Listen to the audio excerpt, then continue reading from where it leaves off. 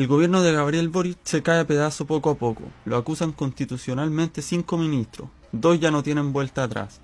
Hace una semana era su ministro de Educación por su pésima gestión. Hoy es su ministro de Salud por no saber anticipar un virus respiratorio que se le venía diciendo desde enero. Si se llegan a destituir un total de 14 ministros en todo su pésimo gobierno, superaría el récord de la vuelta a la democracia.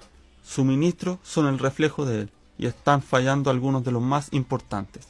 Su ministro de Desarrollo Social y Energía nos hicieron perder 591 millones por no saber calcular bien el valor de un balón de gas.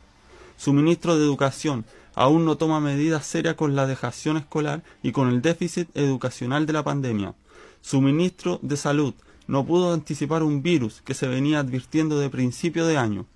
Su ministro de Economía, su única labor es hacer crecer la economía. Lleva tres meses seguidos con crecimiento productivo negativo. Y por último, su ministro de Hacienda sigue hablando de una reforma tributaria en plena crisis económica.